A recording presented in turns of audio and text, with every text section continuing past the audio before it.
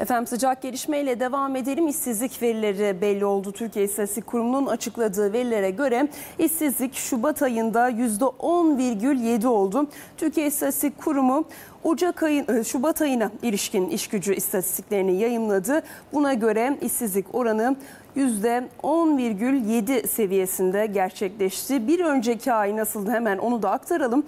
İşsizlik sayısı Ocak ayında bir önceki aya göre 21 bin kişi artarak 3 milyon 859 bin kişi olmuştu ve işsizlik oranı Ocak ayında %11,4 seviyesinde gerçekleşmişti.